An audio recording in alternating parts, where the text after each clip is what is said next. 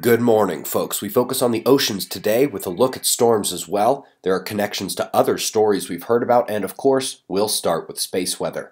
A day of decreasing intensity across most indices. The incoming bright active region on the north and the coronal hole to its south are strongly visible approaching center disk, but the sunspot group itself is actually decaying under the Earth facing solar quiet effect. Surface magnetism remains, but the umbral cores are shrinking and disappearing one by one. Meanwhile, the solar wind stream at Earth continues to weaken and return to normal background levels. Earth's magnetic field is in recovery mode as all is quiet. It is that coronal hole that is likely to be more important, and today you can compare its solid structure to the sparser black turning to the western limb. That coronal hole is connecting to Earth now, and we've got a 72 hour increased risk for the high magnitude 6 range or larger earthquakes. Right now, we're going to Woods Hole, where the Atlantic overturning circulation has been found to be at its weakest point in more than a thousand years. This hugely bucks the notion that it increased power the last few decades, and in fact, has significant implications for the heat release cycle and the cold water return to deep circulation. It is notable that we have just recently heard about the ocean motion amplifying Earth's magnetic field, and it just so happens this churning is weakening in the Atlantic, where the weakest magnetic fields on Earth can be found. Coincidence, I'm sure.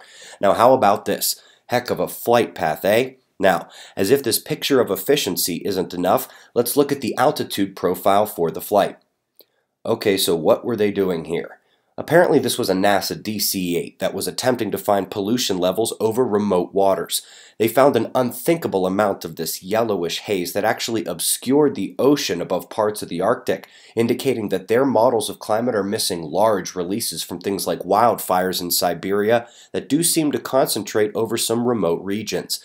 Basically, they must now account for all this extra stuff when trying to explain the climate in their models.